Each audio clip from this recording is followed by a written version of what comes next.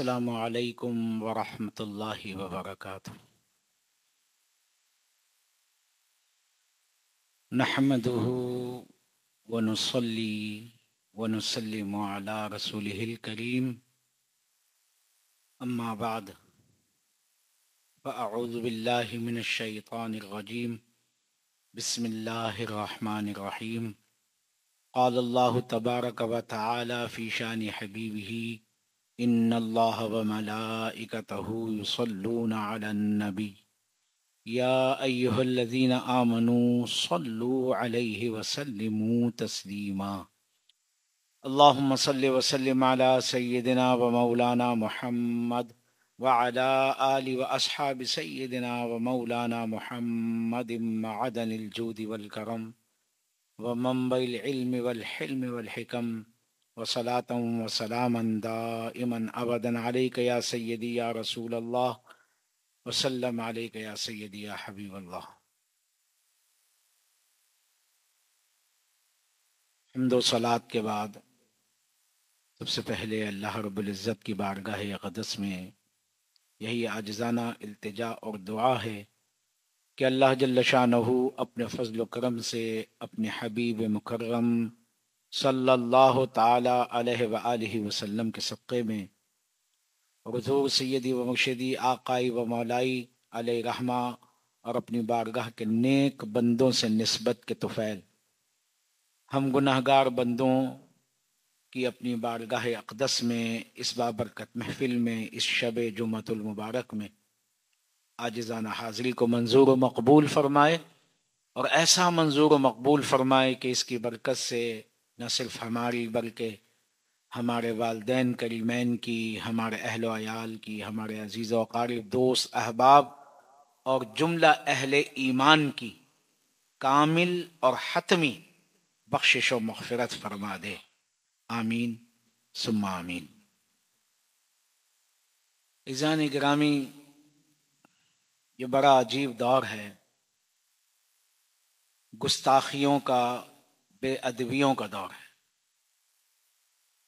यूँ तो हर दौर में गुस्ताख रहे हैं, बेअदब रहे हैं।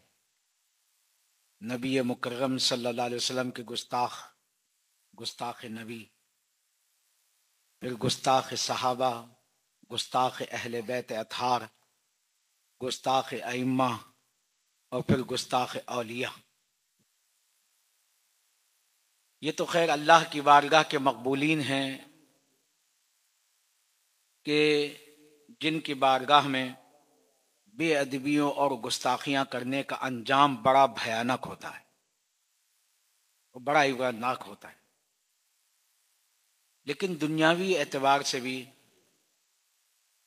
वालदेन का गुस्ताख इसातजा का गुस्ताख बेअदब, या अपने बड़ों का गुस्ताख हो बेअदब भी दुनिया और आखिरत में सुरखरू नहीं होता। उसका भी बड़ा इबरतनाक अंजाम होता है, अगर वो अपनी गुस्ताखी से, बेअदबी से तोबा ना करे।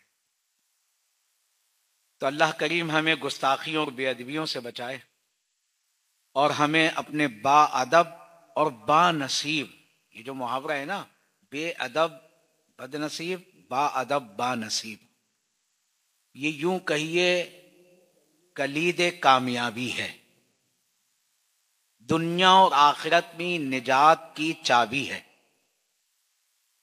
कि बसा औकात जो चीज़ मेहनत से, कस्ब से, रियाजत और मुजाहिदे से हासिल नहीं होती, वो खिदमत और अदब से मिल जाती है। तारीख गवाह इस पर। और बसा औकात गुस्ताखी और बेअदबी सारी ज़िंदगी की रियाजत और मुजाहिदे को, सारी ज़िंदगी की इबादत और मेहनत को जाया और बेकार कर देती। हमारे सैदी मुर्शिदी अल रहमा के इर्शादात और मलफूजात का जो मजमू है, मुमताजुल मजालिस, उसमें इसी गुस्ताखी और बेदबी के हवाले से खसूस अलिया इकराम और खसूस हज़रत सैदना गौस आज़म मीरा मुहिद्दीन सैद शेख अब्दुल कादिर जीलानी अल हसनी वल हुसैनी रदी अल्लाह तु की शान अकदस में गुस्ताखी और बेअदबी के हवाले से हमारे शेख ने एक वाक़ बयान किया जो उसमें मौजूद है और इन्हीं मजालिस में हमारे शेख ने बयान किया इन्हीं हलकों में। हमारे लिए उसमें बहुत सारे सबक हैं।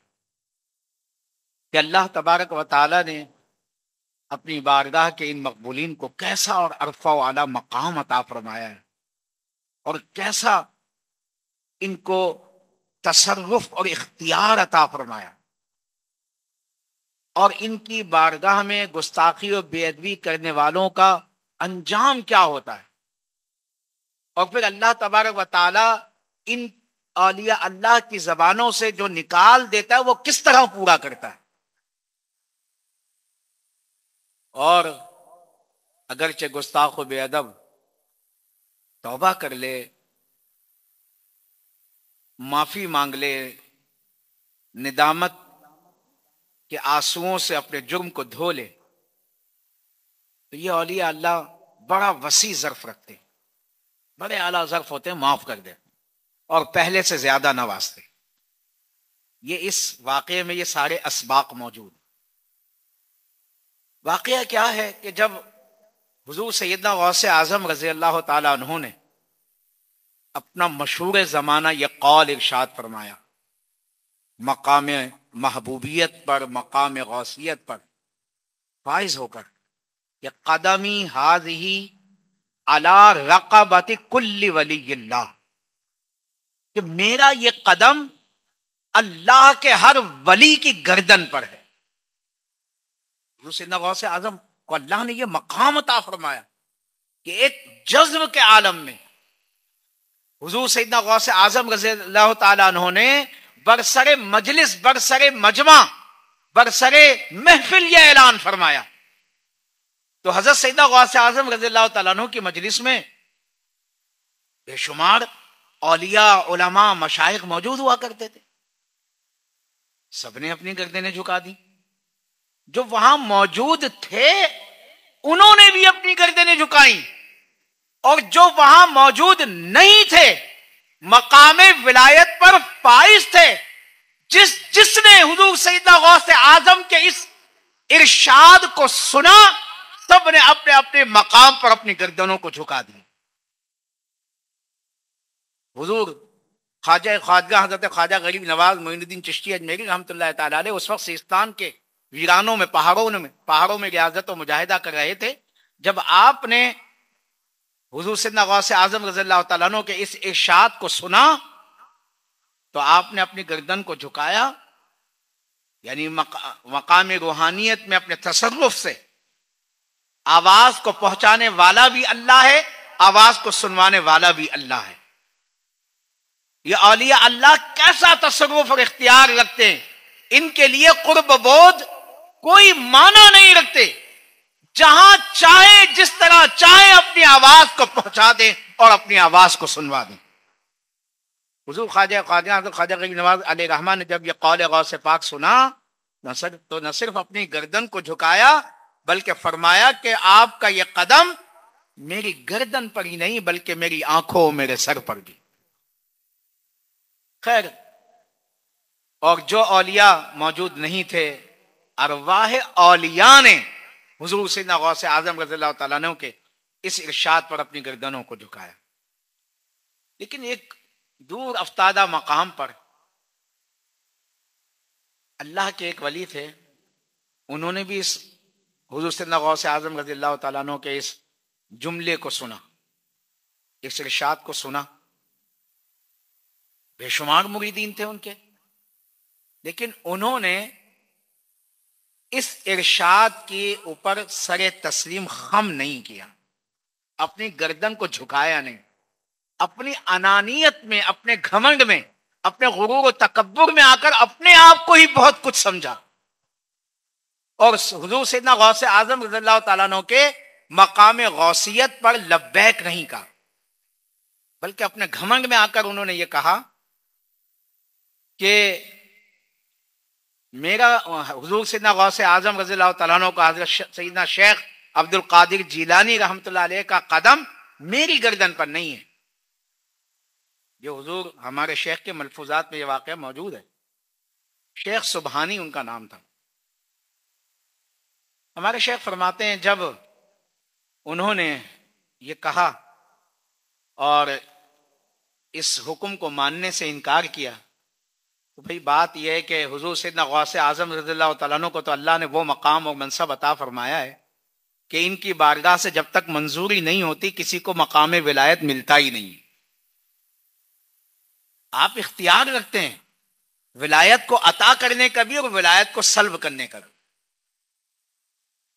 तो जब आपने अपना तसरुफ से हजू से नगौस आज़म तु ने हज़रत शेख सुबहानी अली रहमा के इस कौल को सुना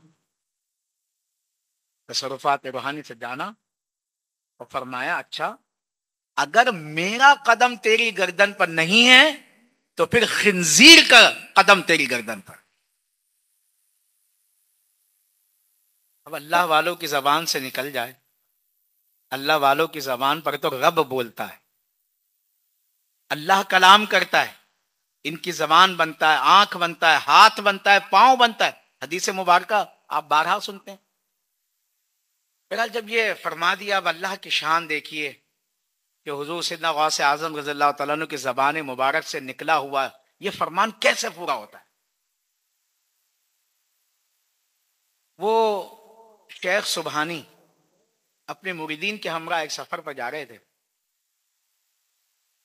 कि रास्ते में कि उसी दौरान सफ़र उनका गुजर एक ऐसे मकाम से हुआ जहाँ उन्होंने एक निहायत खूबरो दोशीजा को देखा। एक निहायत हसीन और जमील लड़की को देखा। उसके हुस्न जमाल पे गिरफ़्तार हो गए। उस पर आशिक हो गए। माइल हो गए।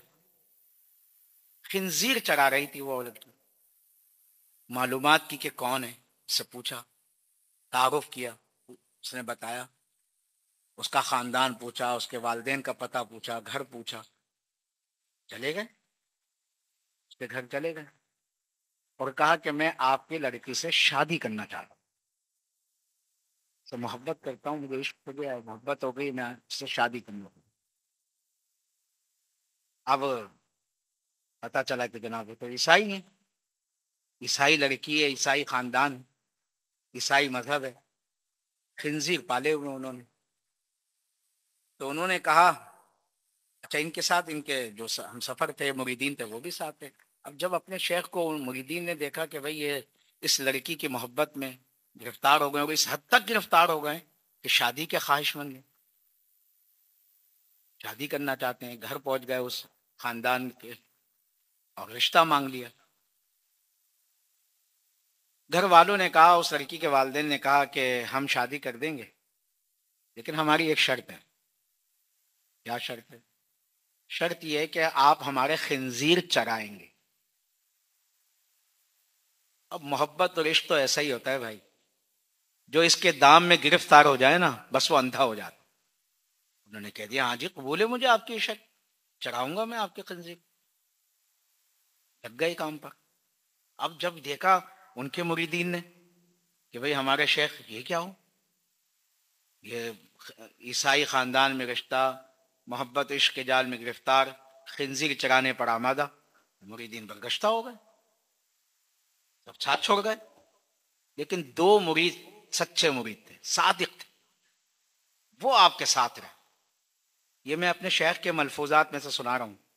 हमने अपने शेख की जबान से सुना और तहरीरन ये मौजूद है वाक़ और हजूर सैदना गौस आज़म रज़ी की करामात के बाब में या जो तफसीली वाक़ जहाँ मिलते हैं, वहाँ भी आपको ये मिल जाएगा।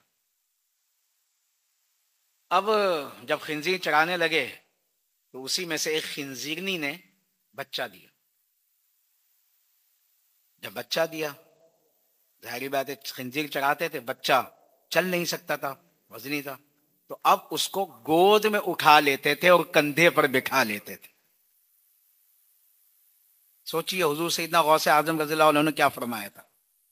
फरमाया अच्छा मेरा कदम तेरी गर्दन पर नहीं तो फिर खिंजीर का गर्दन, खिंजीर का कदम तेरी गर्दन पर। अल्लाह ने कैसे पूरा किया? हुजूर से नगौ से आज़म का ये कलाम, ये कौल, कि खिंजीर को वो अपने गोद में, अपने करदन कंधे पर बिठाने पर तैयार हो गए। वक्त गुजरता रहा। अब वो मुरीद, दो मुरीद साथ हैं। देख रहे हैं सारा मामला। काफ़ी दिन गुजर गए। फिर कुछ दिनों के बाद जो है, बात की गई कि जी, अब तो रिश्ता कर दीजिए, निकाह कर दीजिए, हम शादी करना चाहता हूँ। तो वालदे ने कहा कि अब हमारी एक शर्त और है, एक आखिरी शर्त और। कहा, क्या वो तो उन्होंने उनके सामने एक बर्तन में प्याले में खिंजीर का गोश्त रखा। और एक प्याले में शराब रखी। और कहा, ये गोश्त आपने खाना है और ये शराब आपने पीनी है। आप ये खा लेंगे और ये शराब पी लेंगे तो हम अपनी बेटी का निकाह आपसे कर देंगे। अब अल्लाह अकबर, खिंजीर भी हराम, शराब भी हराम। बड़ा अजीब व गरीब मामला है, मरहला है। अब वो जो दो मुरीद आपके साथ थे सारे मामला के गवाह थे, देख रहे थे। उन्होंने जारी बात अब तो पानी सर से ऊँचा होने लगा। यानी दायरा इस्लाम से मतलब कुफ्र की तरफ़ जाने वाला मामला हो गया। तो उन्होंने वहीं पर बैठे बैठे, उन मुरीदीन ने। देखिए, बसा औकात मुरीदीन भी, शेख के इस हवाले से, यानी इस वाक्य से यह भी मिलता है कि सच्चे मुरीद, जो सादिक मुरीद होते हैं, वो अपने शेख का आखिर वक्त तक साथ भी देते हैं, निभाते हैं और खैर खाही भी रखते हैं। उन्होंने खैर खाई चाहिए हुजूर सैद गौस आज़म रजील्ला की बारगाह में, वहीं से बैठे बैठे इस्तगासा पेश किया, इल्तिजा पेश की कि, या शेख, ए गौस पाक बेशक हमारे शेख से बड़ी गुस्ताखी हुई, बेअदबी हुई।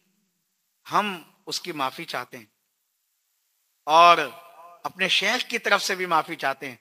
आप लिल्ला मदद फरमाइए, दस्तगीरी फरमाइए और हमारे शेख को माफ़ फरमा दीजिए। मीनों का फासला है। मुरीदीन ने वहाँ से तवज्जो की, हजूर से आज़म बगदाद शरीफ में। वहीं से अपने रूहानी तसरुफ से कश्फ से इस इस्तेगासे को सुना और फिर मैंने बारहा इन नशिस्तों में अर्ज़ किया है कि अल्लाह वाले बड़े वसीउल नज़र, आला जर्फ और अफो दर गुजर का पैकर होते हैं। कोई आए तो सही, माफ़ी मांगे तो सही, निदामत के आँसू बहाए तो सही, तोबा इस्तेफार करे तो सही, इनके पास तो माफ़ी के दरवाजे हर वक्त खुले रहते हैं। जब माफ़ी तलब की गई। हजूर सदना गौस आज़म रज़ी उन्होंने वहीं से तवज्जो फरमाई। और शेख सुबहानी, हज़रत शेख सुबहानी अली रहमा, जिनके आगे उस वक्त एक प्याले में खंजीर का गोश्त और दूसरे प्याले में शराब रखी हुई थी। करीब था कि वो गोश्त खा लेते और शराब पी लेते। लेकिन हजूर सैदना गौस आज़म ने दस्तगीरी फरमाई और उन पर तवज्जो फरमाई, उन पर से गफलत के, जुल्मत के पर्दे हट गए। यकायक उनकी आँखें खुली, कल्ब की आँखें खुली, यूँ कहिए। और कैफियत तब्दील हो गई। जब कैफियत तब्दील हुई तो देखा सामने खंजीर का गोश्त रखा है, शराब का प्याला रखा, पूछा, भाई, ये क्या है? कहा, जी, यानी वो सारी कैफियत, वो मंजरी वो मामला ही जो सारा चल रहा था तो बताया मुरीदीन ने बताया बताया, भाई, ये गोश्त है, ये शराब है, ये ये मामला है, सारा मामला बताया। अच्छा बड़े नादिम हुए। और जब पूरी कैफियत बताई गई, पूरा मामला कि, किस किस तरह से आपके साथ वाकयात हुए, मुरीदीन ने बताया। तो फिर उन्होंने कहा कि, चलो, हजूर गौस पाक अली रहमा की खिदमत में चलते हैं। अब वो दोनों मुरीदीन साथ में ये बगदाद शरीफ के सफ़र पर रवाना हुए। बगदाद शरीफ के करीब पहुँचे तो शेख सुबहानी अली ने कहा अपने मुरीदीन से कि भाई मैं हजूर सैदना गौस पाक का मुजरिम हूँ गुनागार हूँ। मैंने गुस्ताखी और बेदबी की थी, लेकिन अब माफ़ी का खास कार हूँ। तो जो मुजरिमों का सलूक होता है, मुजरिमों के साथ ऐसा करो, मेरा मेरे चेहरे पर स्याही मल दो, मेरा चेहरा काला कर दो और मेरे हाथ जो है वो कमर के पीछे रस्सियों से बाँध। दो तो इस हाल में मुझे जो है हजू सैदना गौस पाक रहमत की खिदमत में पेश करो। मुरीदीन ने अपने शेख के हुक्म के तामील के, उनके लिए तो यही बड़ा गनीमत था कि अल्लाह ने उनके शेख को एक जीवो गरीब मरहले से बचा लिया और माफ़ी मिल गई। बहरहाल जब यह अमल हुआ हजू सैदना गौस आज़म रज़ी तु की खानका में दाखिल हुए। हजू गौसपा कल रहमा की बारगाह में पहुँचे। कदमों में गिर गए। माफ़ी के खासदार हुए। गुरु सैदना गौस आज़म रजील्ला तु ने न सिर्फ़ ये कि माफ़ फरमा दिया, बल्कि कमाल शफकत फरमाई। कमाल शफकत। हम तो अपने शेख या अपने बुज़ुर्गों की जात में बुज़ुर्गों की शफकतों को देखती हैं। यानी अगर किसी शेख के कमालात को, किसी बुज़ुर्ग के कमालात को देखना हो कि कैसे थे उनके कमालात तो आप अपने शेख के कमालात को देखिए। उनकी जात को, उनकी सिफात को देखिए। तो पेशवाओं की याद ताज़ा हो जाए। कमाल शफकत फरमाई, उनको गुसल करवाया, अपनी पोशाक मंगवाई, लिबास मंगवाया, वो उनको पहनवाया। और फिर इतने इनामात इकरामात से नवाजा कि पहले इस वाक़े से कबल जिस मकामी विलायत पर वो फाइज थे या जो उनकी दराजात और मनाजिल थी, उससे कहीं ज़्यादा ऊँचा और अरफा वाला मकाम अता फरमा तो वही बात यह है कि अल्लाह तबारक व हमें अपने शेख और अपने पेशवाओं और सिर्फ़ अपने शेख, अपने पेशवाओं नहीं, बल्कि अपने बारगाह के हर मकबूल मुकर्रब बंदे की गुस्ताखी और बेअदबी से बचा। अम्मा इकराम अलिया इज़ाम, साहबा इकराम और अम्बिया इकराम आलम की गुस्ताखी और बेअदबी से बचाए और अल्लाह तबारक वाली हमारे ईमान की दोनों जहाँ में हिफाजत फरमाए और हमारे दिलों में अपने अलिया इकराम की सच्ची मोहब्बत, अजमत और अदब पैदा फरमाए। बड़ा गलने का मकाम होता है। बोलने में भी मोहतात रहिए। मैं इसलिए बोला करता हूँ कि जो लोग ज़्यादा बोलते हैं, वो ज़्यादा मोहतात रहे। जो कम बोलते हैं, ये कम बोलना ज़्यादा बेहतर है। जो ज़्यादा बोलते हैं, ज़्यादा बढ़ बढ़कर हर काम में उलझते हैं उनके, उनसे ज़्यादा बेअदबी का, गुस्ताखी का अंदेशा रहता है। ज़्यादा इम्कान रहते हैं। मन समता न जा हजूर की हदीस मुबारक है। जिसने खामोशी इख्तियार की, वो नजात पा गए। तो भाई, बसा औकात बहुत सारे मकाम पर खामोश रहना बेहतर है। बजाय इसके कि हमारी जबान से कोई नाजेबा, कोई गुस्ताखाना, कोई बेअदबाना कलमा निकले और हम गिरफ्त में आ जाएँ। क्योंकि अल्लाह की, अल्लाह के हबीब की और अल्लाह वालों के नवाजने के ढंग निकाले तो गिरफ्त करने का तरीके भी अनोखे तो अल्लाह ताला इनकी गिरफ्त से महफूज फरमाए। अल्लाह ताला हमारी हिफाजत फरमाए। मेरे कहने को, मेरे लिए भी मिशल राह बनाए। मुझे भी अमल की तोफ़ी दे और आपके लिए भी मिशल राह बनाए और अमल की तोफ़ी अता फरमाए और हमें अपने शेख की तालीमत को जानने की, समझने की और उस पर अमल पैरा होने की तोफ़ी सईद अता फरमाए। आमीन, सुम्मा आमीन।